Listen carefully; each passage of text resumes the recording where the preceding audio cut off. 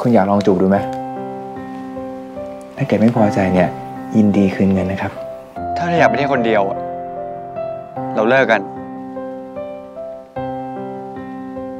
แล้วแต่นายนะ ฉันรู้ว่าพูดอะไรไป ก็คงไม่มีประโยชน์ แล้วก็รู้ว่าคุณคงไม่สัญญาอะไรกับฉัน แต่ฉันจะรอ